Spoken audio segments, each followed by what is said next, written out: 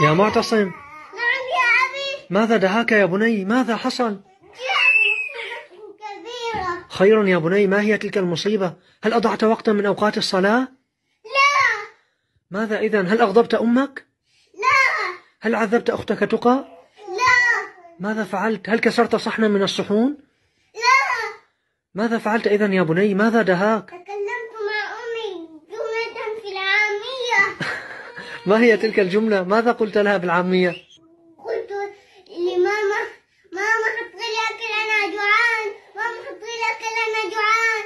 هكذا قلت لها يا أبي بدل أن أقول لها يا أمي أنا جائع من فضلك يجب أن تضعي لي بعض الطعام. ما شاء الله. لا بأس عليك يا بني. هون عليك لعله خير إن شاء الله. يجب أن نحرص على اللغة العربية الفصحى. ما شاء الله ما شاء أسأل الله أن يثبتك يا بني. فتح الله عليك. قل بارك الله فيك. بارك الله فيك. فيك